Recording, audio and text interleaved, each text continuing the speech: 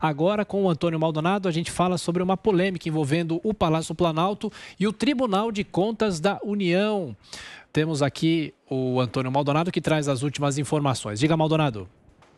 É isso mesmo, Tiago. Ontem o presidente Jair Bolsonaro, em conversa com apoiadores ali ao deixar o Palácio da Alvorada, disse citou um suposto estudo do Tribunal de Contas da União que apontaria aí pelo menos 50% dos óbitos registrados no ano passado como óbitos ocasionados em decorrência da Covid não teriam sido justamente ocasionados aí pelo coronavírus. O presidente Jair Bolsonaro citou esse estudo e aí essa informação, essa fala do presidente já começou a circular nas redes sociais. E aí o Tribunal de Contas da União não demorou muito para desmentir o presidente, disse que não tem nenhum estudo nesse sentido que não é, divulgou aí nenhuma informação relacionada, questionando o número de óbitos registrados no país ao longo do ano passado pela Covid-19. E aí, um documento começou a circular nas redes sociais, um documento com timbre ali do Tribunal de Contas da União, que seria o documento que comprovaria essa informação dada pelo presidente Jair Bolsonaro. É, por conta da circulação desse documento, o Tribunal de Contas da União voltou às redes sociais, ao Twitter,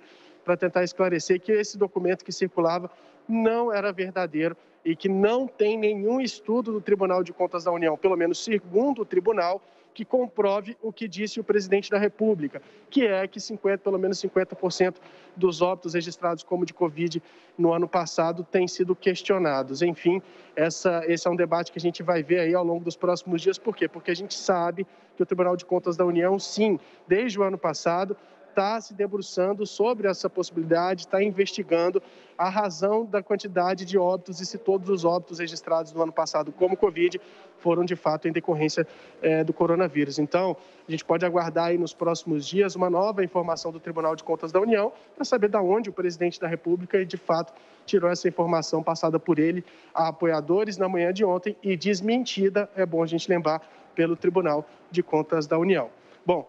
enquanto a comissão parlamentar de inquérito da Covid-19 ocorre ali no Senado Federal, houve o ministro da Saúde, Marcelo Queiroga, o presidente da República